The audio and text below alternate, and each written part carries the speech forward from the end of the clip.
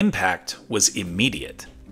By early 1896, clinicians in Europe and the United States were using X rays to locate fractures, bullets, and swallowed objects.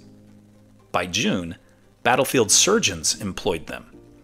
In 1897, during the Balkan War, X rays aided surgery. Diagnosis gained a window inside the living body without cutting it open. Public fascination exploded.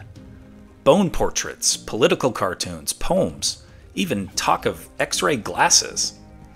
Studios opened, and devices spread quickly. Early on, many believed X rays were as harmless as light. Contradiction arrived with reports of burns and skin damage. In 1904, Thomas Edison's assistant, Clarence Dally, died of cancer after extensive exposure. Yet, unrestrained uses persisted, including shoe fitting fluoroscopes from the 1930s to 1950s.